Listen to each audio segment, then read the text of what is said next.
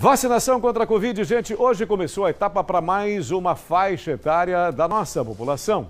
Teve gente que não aguentou com tamanha emoção, se emociona demais mesmo, aí não consegue segurar as lágrimas, chorando, chorando, chorando, se emociona.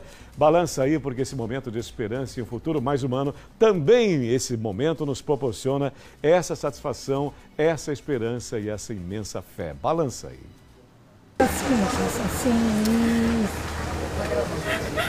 O choro da Rafaela vem carregado de gratidão e esperança. Alívio, gratidão a Deus, ao SUS, ao trabalho da prefeitura, de todos vocês, que não nos enganam, que não nos deixam ficar cegos diante de tudo isso. Eu estou muito grata, estou muito feliz. E a emoção foi em dose dupla. O esposo dela também recebeu a primeira dose da vacina contra a Covid. Foram duas alegrias quando a gente soube que a vacina já tinha sido criada e que poderia vir para a gente. E agora tomar vacina foi é uma sensação de alívio, de, de, de, gratidão à ciência, de gratidão às pessoas que eu, como funcionário público, ver esse, essa organização, esse nível de organização, de cuidado. É, uma sensação de, de, missão cumprida e de orgulho também, sabe? Nesta segunda estão sendo vacinadas pessoas com 36 anos, nascidas entre os meses de julho a dezembro de 1984. Na terça-feira, dia 6, os nascidos de janeiro a junho de 1985. Na quarta-feira, pessoas com 35 anos. E na quinta-feira, dia 8, o município realiza mais um dia de repescagem para pessoas acima de 35 anos. A emoção, que sendo vacinado é tudo, né? E muita gente morrendo, né? E ah, graças a Deus, né? Obrigado, Senhor. Um dia importante para a vacinação, para que a gente possa ficar seguro, né, contra esse coronavírus. Dá vontade de chorar, né? Dá vontade. Assim, é, é...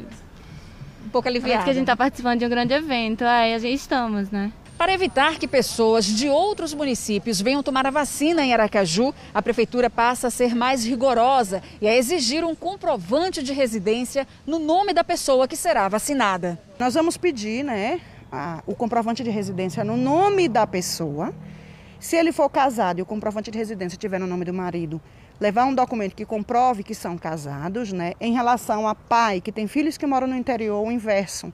Filhos que moram aqui com seus pais que moram no interior o comprovante de alguma conta no nome desta pessoa, ele comprova que a casa é do pai, ele mora com o pai, mas ele deve ter um celular, ele deve ter um cartão. E a gente recebe no nosso nome. Então ele precisa comprovar também que ele tem alguma conta no nome de Aracaju, para que ele possa ser garantida a vacina dele aqui na nossa cidade. A diretora também chama a atenção para a segunda dose. Das 10 mil pessoas que estavam sendo esperadas até o domingo, apenas 6 mil compareceram para completar o esquema vacinal. É muito importante que olhe o cartão de vacina, que veja qual foi a sua data, a data que está programada, que vá na unidade de saúde. Nós estamos com seis unidades de saúde exclusivas para a segunda dose é importante frisar isso, nós temos unidade de segunda dose e unidade de primeira dose, já para separar o público mesmo. Então, na realidade, nós estamos oferecendo 16 unidades de saúde para fazer a vacinação Covid. E uma coisa que eu vou dizer sempre, não vou deixar de dizer, você tenha certeza disso, sei que você acredita, sei que você confia, vou te dizer uma coisa.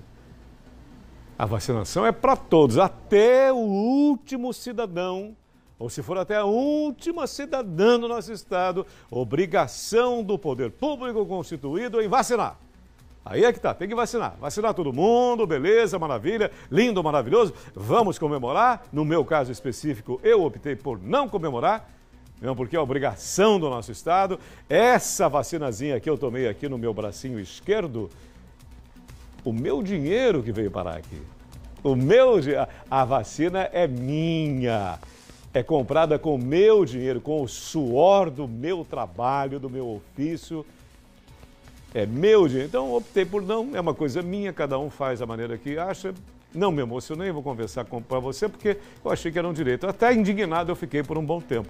E mais um pouco eu até desistia. Você quer saber, não? Fiquei tão revoltado que mais um pouco eu desistia. Mas tudo bem, tudo bem. Já passou, já estou mais calmo, já estou mais tranquilo. Mas o mais importante, nós vamos sempre reivindicar aqui essa capilaridade, o avanço maior dessa vacina. Tem que chegar para a rapaziada, 36, 37, 35, 30, 20, 18, até nós chegarmos ao final e todo mundo vacinadinho, tudo muito bonito, porque, repito, é obrigação dos gestores públicos e todo o poder constituído, nós recebemos essa abençoada vacina e tenho dito.